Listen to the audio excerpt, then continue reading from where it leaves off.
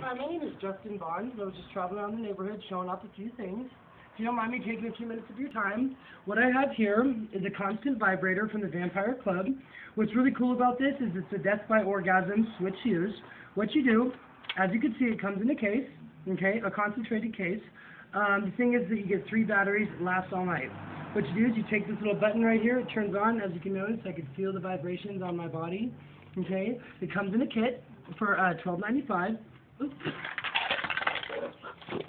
Sorry about that. Excuse me. Oh, oh man. Oh. Um. Sorry.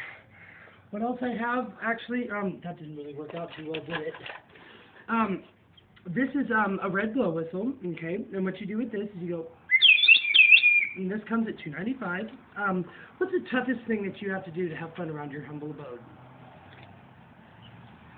I have to figure out how to wash the dishes and finger my butthole at the same time. Okay, well here's the thing.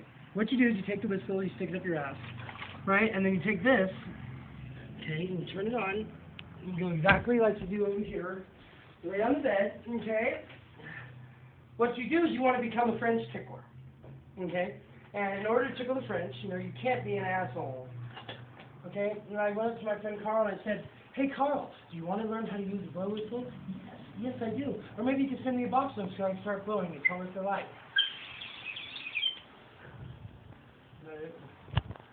How do you use that vibrator exactly? Um, you take your hand like this, okay?